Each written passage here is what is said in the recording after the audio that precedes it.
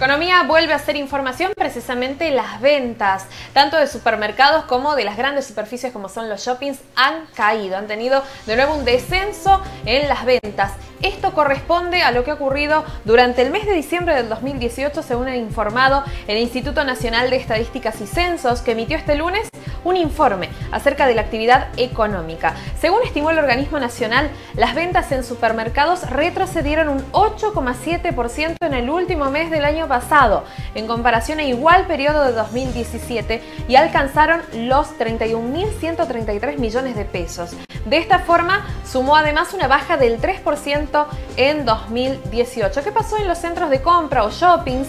En este caso, las ventas por cantidades también se contrajeron por sexto mes consecutivo un 13,3% durante diciembre de 2018 en la comparación interanual. A nivel anual, la caída de la actividad alcanzó el 2,4%.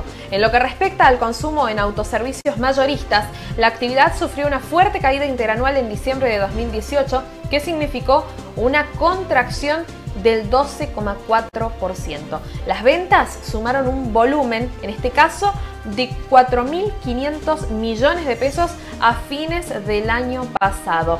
Sectores que vuelven a ser golpeados, como lo sabemos decir en distintas ediciones de Darte Noticias. Basta con recorrer, por ejemplo, la zona de la peatonal cordobesa y toparnos con varios comercios que han cerrado sus puertas y que ahora están totalmente vacíos y que se ve el cartelito se alquila o se vende.